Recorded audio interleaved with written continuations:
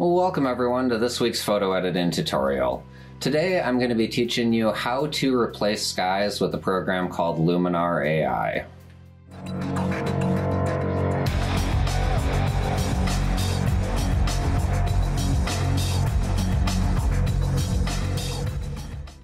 Okay, so to start this off, I got Luminar open and I'm in the Edit tab. I got my picture selected that I want to do this for. Uh, so under Creative here, we have the Sky AI feature.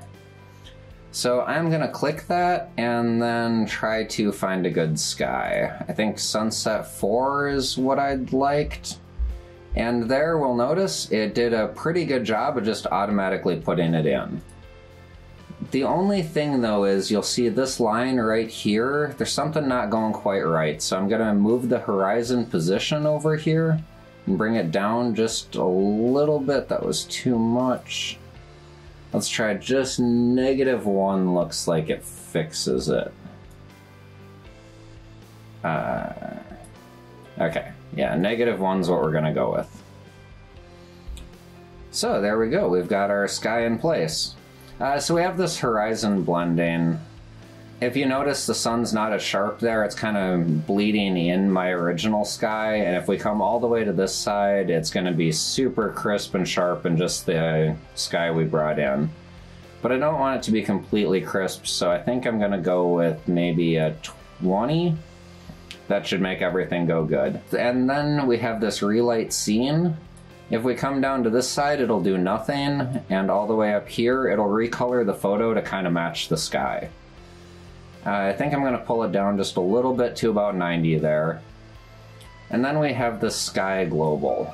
Uh, as you'll notice, there's not a vignette up here. It's kind of matching the sky to the photo, it looks like.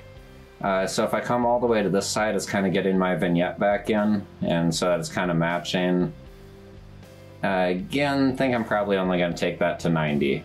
Uh, there are some advanced settings if you feel like it. Uh, if things don't work out, like if you need to defocus your sky, you can do that and get it all blurry and out of focus. There's a bunch of stuff here to make your sky actually match with your photo. So if you need to use any of this stuff, uh, by all means, feel free to. It is there to be used. Uh, but yeah, that is quick and simple how to replace a sky with Luminar AI.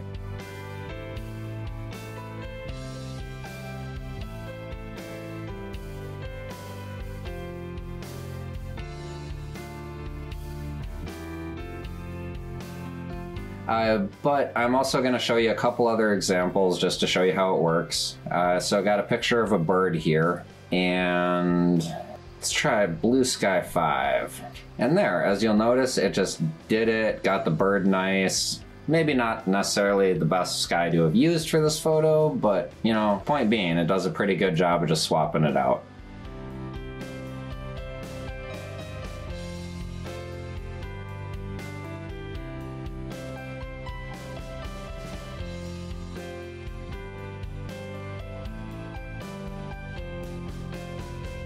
And again, we're going to show one with a whole bunch of foliage just to show how this works. Uh, let's try Dramatic Sky 3. And there we go. As you'll notice, it did a really good job. On this one, I would probably want to relight the scene a little bit, but you know, that's how it's done.